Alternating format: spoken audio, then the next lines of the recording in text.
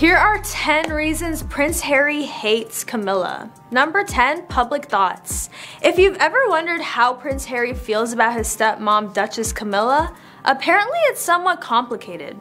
Royal expert Ingrid Seward recently revealed that Harry doesn't have great respect for Camilla and has pretty much no interest in starting a close relationship with her. I mean, did we really think that Prince Harry would like his father's mistress? Prince William, in an interview, was asked about this matter and stated, My father loves this woman, I can't fight it, so I won't. Harry, on the other hand, cannot stand Camilla. He doesn't want Camilla to be queen. He's very angry that is happening.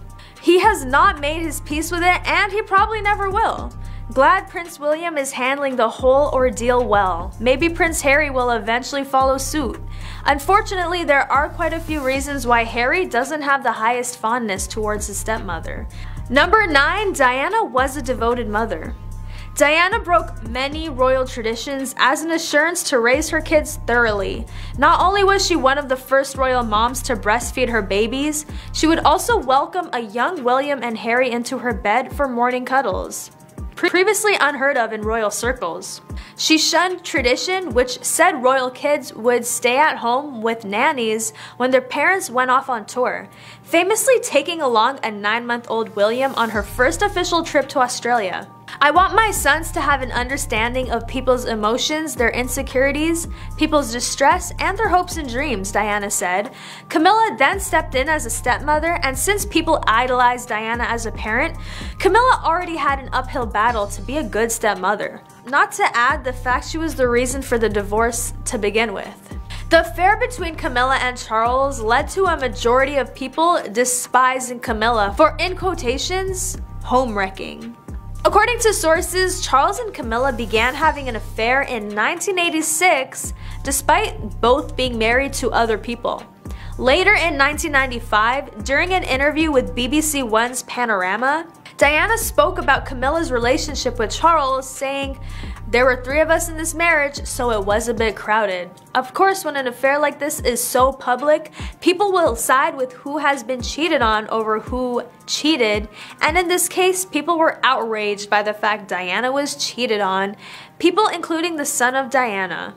Number 8. The other royals' views. The royals had negative views of Camilla, but were very welcoming to Diana. Right from the start, Charles adored the then Camilla Shand, who's close in age to Charles, and has always treated him as an equal rather than as someone she idolized. However, the royal family wasn't interested in having Camilla as its princess. For one thing, she was perceived as an experienced woman, which was a non-starter for the royal family back then in terms of a suitable spouse for Prince Charles. For another, she wasn't perceived as aristocratic enough to be a princess. On the other hand, Diana was adored by the royal family. The queen thought Diana quite suitable for Charles. She was very much a hit with the royal family, they really warmed to her. Chernock says. Diana worked very, very hard to ingratiate herself and to model what she thought being a princess would entail, and she did it very successfully. Number 7. Diana's passing. During the anger and finger pointing amid the national grieving over Diana's loss, commentators were in almost universal agreement there was no chance Charles could marry the matronly Camilla even if she had been the love of his life. In a television poll at the time, two thirds said Charles should not be allowed to become king if he married Camilla. He had been having an affair with her since the mid 1980s. Camilla should leave the country, said one mourner after Diana's death as she laid flowers outside the princess's house. Without the mistress, none of this would have happened. People of the public seem to have pointed their finger right at Camilla after the passing and labeled her the mistress who caused this. The Netflix series The Crown has brought back stories and pain that Diana dealt with and have been bringing a new backlash to Camilla, to which every photo on the monarch's Instagram is flooded with comments saying Diana forever and every other form of comment that is implying Diana will not be forgotten. Number 6. Kate and Will Kate Middleton and Queen Consort Camilla have been engaged in a secret power struggle after King Charles took the throne. There is a rift going on amongst the royals with Camilla's new appointment. this power war has been vocalized by Kate Middleton. She has stated ever since the queen passed away, Camilla has been throwing her weight around showing everyone who's boss. And Kate is apparently becoming increasingly irritated by Camilla. She thinks Camilla doesn't take her royal duties seriously and that she doesn't deserve the role. And those things have been awkward.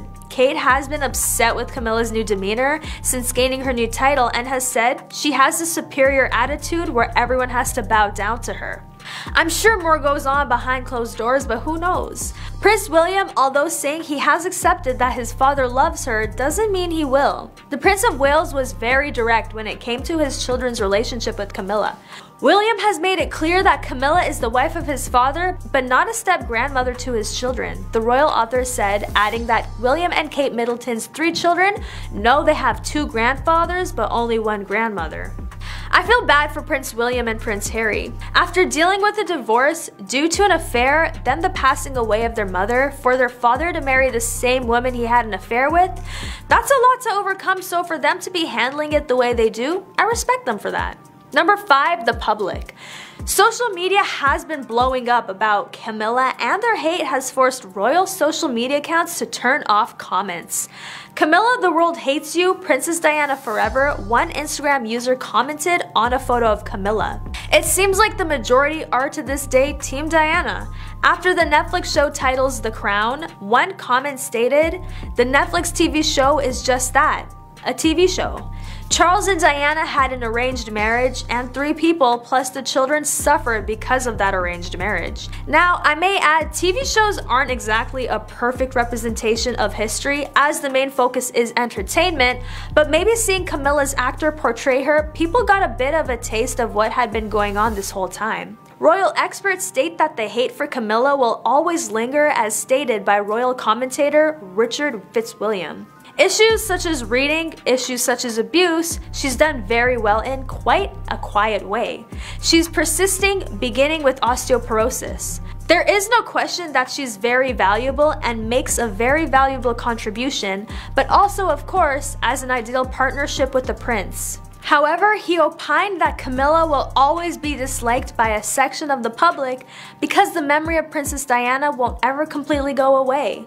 He said, Here's the problem that anything to do with Diana, which is constantly in the news, does bring back past memories. The past decades, and this brings back Diana, will mean obviously that there will always be a section of society that are far from enamored by Camilla.